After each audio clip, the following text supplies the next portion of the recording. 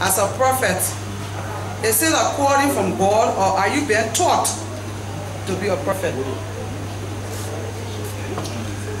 Anything we do has to be calling from God. All Christians have been called by God to preach the gospel, to serve God. But we all have our different callings.